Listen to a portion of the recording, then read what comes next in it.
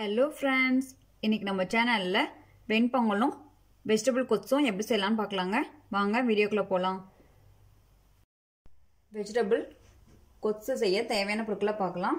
ஒரு சிறிய நெல்லிக்காய் அளவு புளி எடுத்து இந்த மாதிரி தண்ணியில் நல்லா கரைச்சி எடுத்து வச்சுருக்கேங்க. அறுபது கிராம் பாசிப்பருப்பு ஆறு பீன்ஸ் எடுத்து இந்த மாதிரி கட் பண்ணி எடுத்து வச்சுருக்கேன். ஒரு கேரட் ஒரு உருளைக்கிழங்கு ஒரே ஒரு கத்திரிக்காங்க ஒரு பெரிய வெங்காயம் இதுக்கு சின்ன வெங்காயம் எடுத்துக்கிட்டிங்கன்னா இன்னும் நல்லா டேஸ்ட்டாக இருக்குங்க. கொஞ்சம் கொத்தமல்லி தழை கருவேப்பிலை ஒரு பச்சை மிளகாய் ஒரு தக்காளி மூணு வரமிளகாய் முக்கால் டீஸ்பூன் கொத்தமல்லி தூள் கொத்தமல்லி ஒரு டீஸ்பூன் கடலைப்பருப்பு அரை டீஸ்பூன் உளுத்தம்பருப்பு பாசிப்பருப்பை நல்லா தண்ணியில் கழுவிட்டு குக்கரில் போட்டு நீங்கள் எந்த கப்பில் எடுக்கிறீங்களோ அதே கப்பில் மூணு கப் அளவு தண்ணி ஊற்றி எடுத்து வச்சுருக்கேங்க. அதில் கொஞ்சமாக மஞ்சள் தூள். இப்போ நம்ம எடுத்து வச்சுருந்த காய்கறி எல்லாம் அதில் ஆட் பண்ணிக்கலாம். கேரட் உருளைக்கிழங்கு கத்திரிக்காய் பீன்ஸ்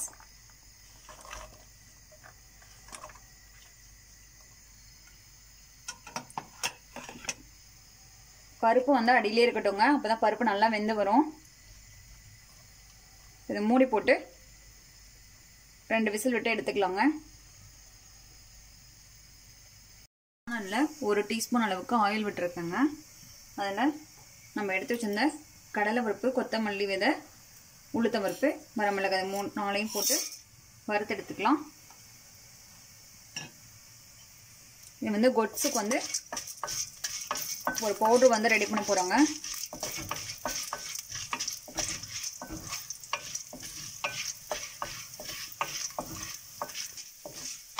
லோ ஃப்ளேம்லேயும் வச்சு வருங்க. நல்லா செவக்க வறுத்து எடுத்துக்கணும்.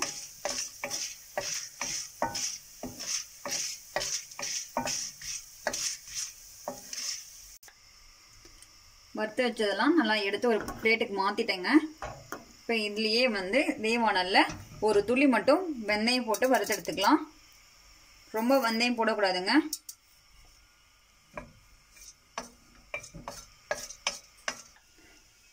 வறுத்த வெந்தயத்தையும் இதில் போட்டுட்டேங்க. இது சூடாக இருக்கும் போதே இதில் கொஞ்சம் பெருங்காயத்தூள் போட்டுருங்க.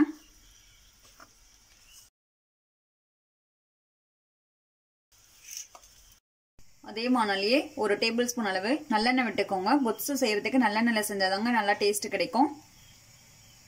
எல்லாம் எண்ணெய் நல்லா காஞ்சிடுச்சு இப்போ இதெல்லாம் ஒரு அரை டீஸ்பூன் கடுகு.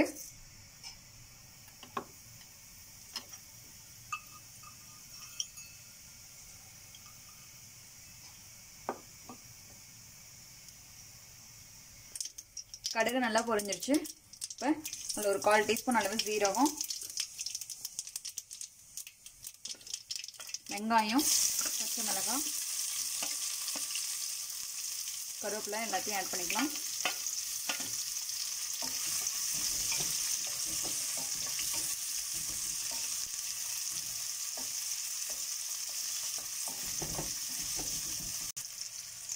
கொஞ்சமாக உப்பு ஆட் பண்ணி நல்லா வதக்கி விடலாம்.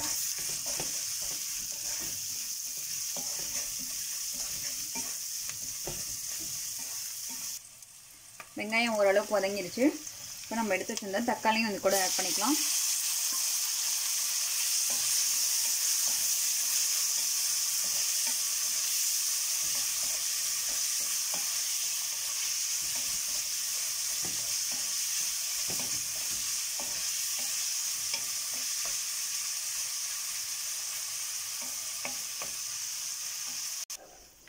பாருங்க பருப்பு காயெல்லாம் நல்லா வெந்து வந்துருச்சு. இப்போ வந்து தக்காளியெல்லாம் நல்லா வதங்கிடுச்சிங்க.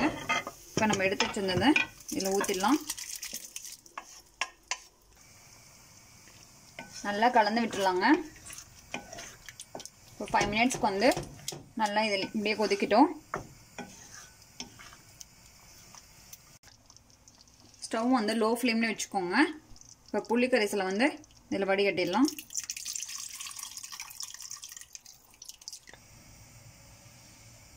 கொஞ்சம் உப்பு சேர்த்துக்கலாம்.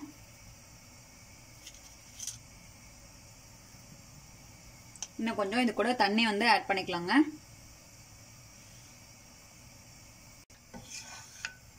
கூட ஒரு கப் அளவு வாட்டர் வந்து இது கூட ஆட் பண்ணிக்கிறேங்க. ஏன்னா நம்ம வறுத்து வச்சிருக்க அந்த மசாலா பொடி வந்து போட்ட உடனே திக்காக ஆரம்பிச்சிருங்க.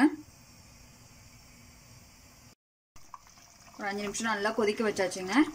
இப்போது நம்ம வறுத்து ஆற வச்சிருந்ததை அரைச்சி நல்லா இந்த மாதிரி பவுடர் மாதிரி எடுத்துட்டு வந்தாச்சு. இந்த மசாலா பொடியை வந்து இது கூட ஆட் பண்ணிக்கலாங்க. இதை ஆட் பண்ணிட்டு நல்லா மிக்ஸ் பண்ணி விட்டுட்டு ஒரு டூ மினிட்ஸ் மட்டும் கொதிக்க விட்டுட்டு ஸ்டவ் வந்து நீங்கள் ஆஃப் பண்ணி வச்சுருங்க. டூ மினிட்ஸ் ஆயிடுச்சுங்க. ஸ்டவ் ஆஃப் பண்ணிட்டு கொத்தமல்லி தூளை தூவி இறக்கிடலாங்க. கொத்து ரெடி ஆயிடுச்சு. இது வந்து ரொம்ப தண்ணி மாதிரியும் இருக்கக்கூடாதுங்க. ரொம்ப கெட்டியாகவும் இருக்கக்கூடாது. அந்த மாதிரி இருந்தால் தாங்க நல்லா டேஸ்ட்டாக இருக்கும். வெண்பொங்கல் செய்ய தேவையான பொருட்களை பார்த்துடலாம். ஒரு கப் அளவு பச்சரிசி எடுத்திருக்கேன். இது வந்து கால் கிலோங்க. இதுலேயே வந்து அரை கப் அளவு பாசிப்பருப்பு கொஞ்சம் கொத்தமல்லி தழை கருவேப்பிலை கொஞ்சம் ரெண்டு பச்சை மிளகாய் ரெண்டு துண்டு இஞ்சி வந்து இந்த மாதிரி பிடிப்படியாக கட் பண்ணி எடுத்துருக்கேங்க. ஒன்றரை டீஸ்பூன் மிளகு ஒரு டீஸ்பூன் சீரகம் தேவையான அளவு முந்திரி. வெண்பொங்கல் வந்து நான் இன்றைக்கி குக்கரில் தாங்க செய்ய போகிறேன் குக்கரில் ஒரு டீஸ்பூன் நெய் விட்டுக்கலாம்.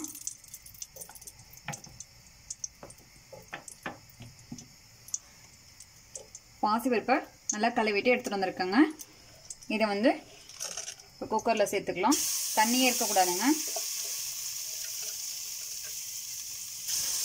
பாசி பருப்பை நெய்யில் வறுக்கும் போது தாங்க அதனுடைய வாசனை ஃபுல்லாக வந்து அந்த பொங்கல் வந்து நல்லா டேஸ்ட்டாக இருக்கும்.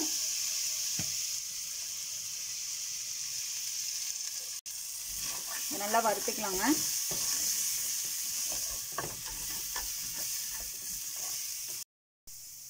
பாசிப்பருப்பு லைட்டாக வறுப்பட்டுருச்சுங்க பாதி அளவுக்கு. இப்போ நம்ம எடுத்து வச்சிருந்த அரிசியும் நல்லா கழுவிட்டு எடுத்துகிட்டு வந்திருக்கேங்க. இப்போ இதையும் வந்து இது கூட சேர்த்துக்கலாம்.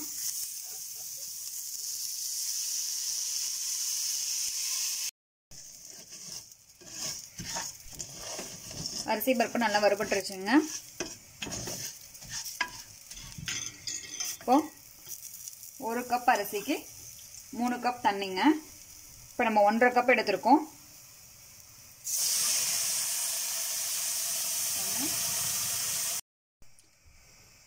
அரிசியும் பருப்பு சேர்த்து ஒன்றரை கப்புங்க.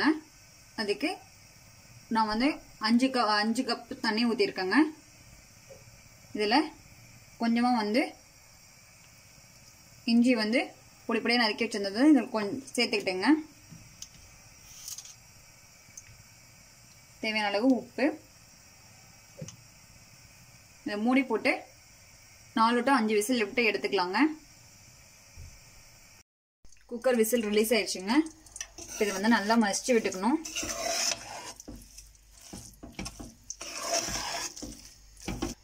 நல்லா இந்த மாதிரி மசிச்சு எடுத்துக்கோங்க. நெய் ஊற்றிட்டிங்கன்னா அதுக்கப்புறம் மசிச்சிடணும் மசிஞ்சு வராதுங்க. அதனால தான் வந்து நம்ம ஃபஸ்ட்டே மசிச்சுட்டு அதுக்கப்புறம் தான் வந்து தாளித்து அதில் கொட்டணும். ஒரு வானலில் நூறு எம்எல் அளவுக்கு நெய் எடுத்திருக்கேன். நெய் நல்லா சூடாயிடுச்சு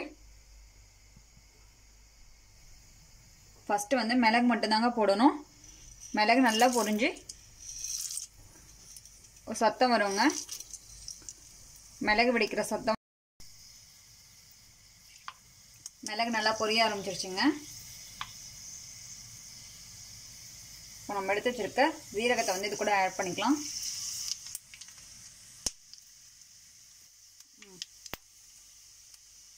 இஞ்சி பச்சை மிளகாய் கருவேப்பிலை தூள் எல்லாத்தையும் ஆட் பண்ணிக்கலாம்.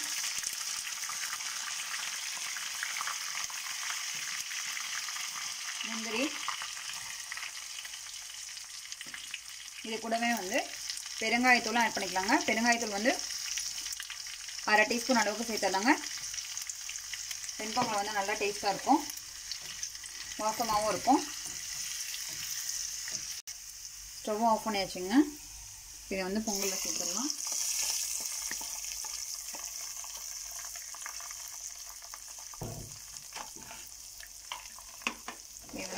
கொஞ்சமாக கொத்தமல்லி தலை ஆட் பண்ணிக்கலாம்.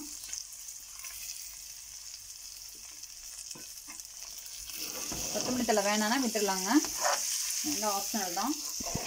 நல்லா கலந்து விட்டுடலாம். வெண்பொங்கல் ரெடி ஆயிடுச்சுங்க.